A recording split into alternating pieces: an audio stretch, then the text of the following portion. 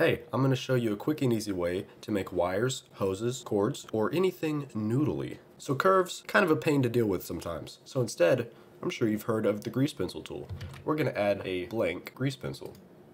With it selected, go to draw mode, top down view if you're putting it on the floor, side if you're doing a wall or something. In my case, I'm going top down view and I'm just going to start drawing my cords.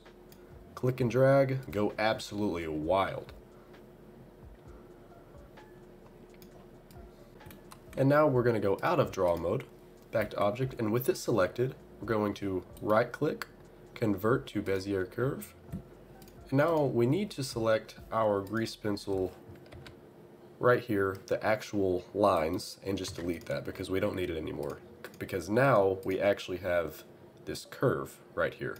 So now we go down to geometry, depth, and turn the depth up to anything that you want. I'm going to go with about 3 and turn the resolution of that depth up so it doesn't look so blocky.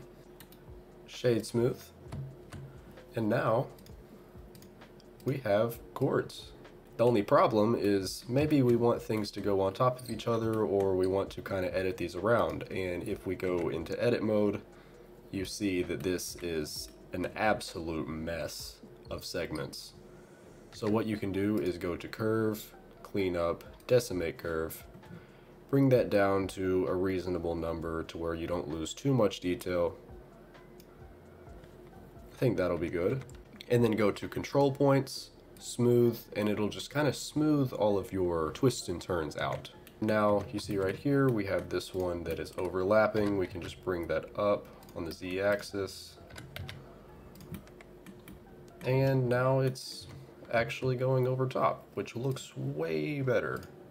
Apply some basic cord noodle material. And you've got yourself some nice wires.